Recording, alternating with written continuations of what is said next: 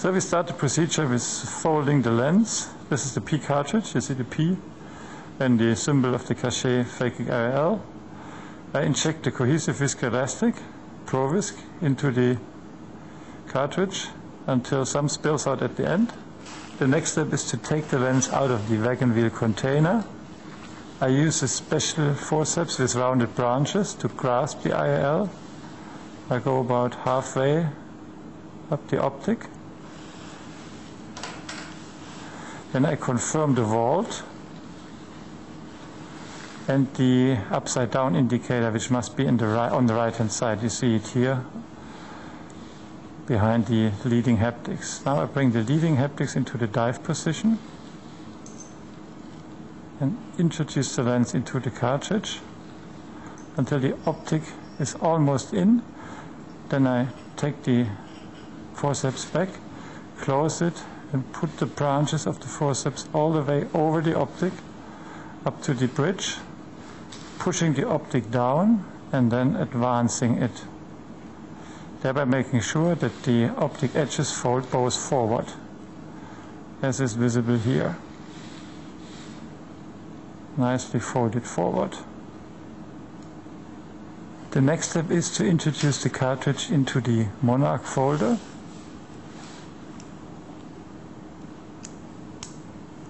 until it clicks in.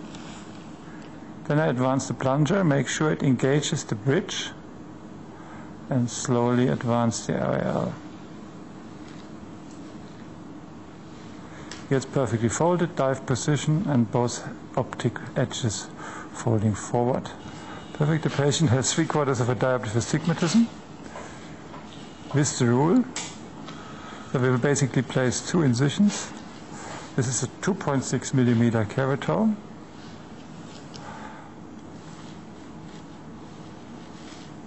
Dann zurück zum Licht schauen.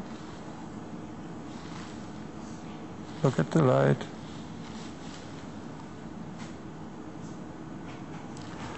Because of the astigmatism,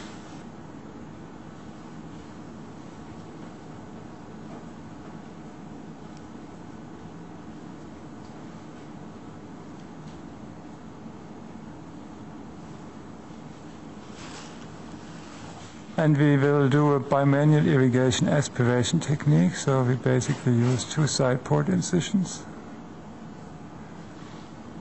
performed with a 15 degree knife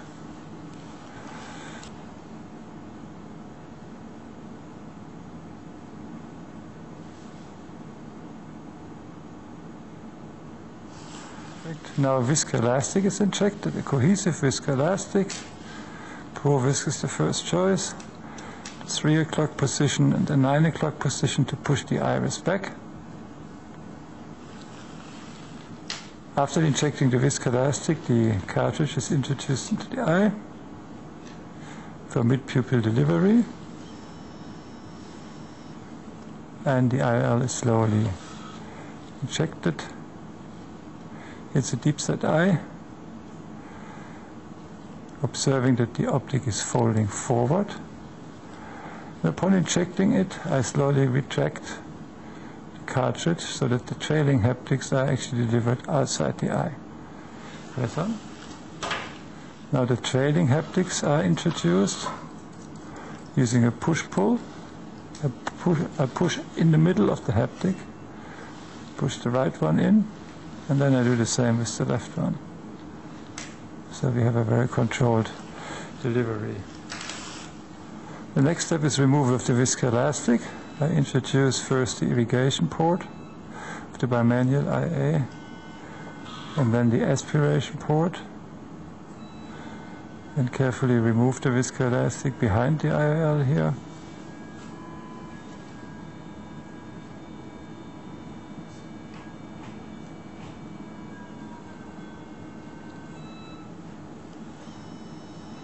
Here we have a very deep set eye. Nochmal wässern.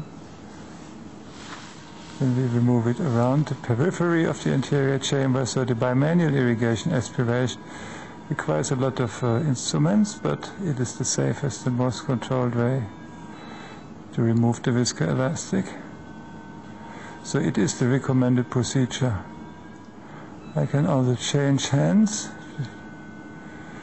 to make sure everything is removed in both parts of the anterior chamber if I'm not sure to reach this with one position of the irrigation handpiece.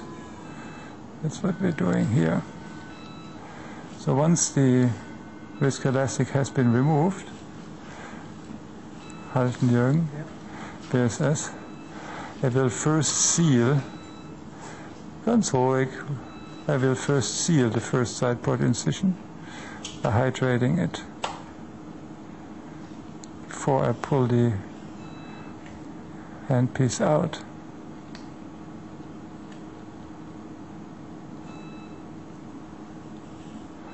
Just for added safety. Schön, look at the light, excellent. Perfect. So all the incisions are basically sealed during using BSS to hydrate them.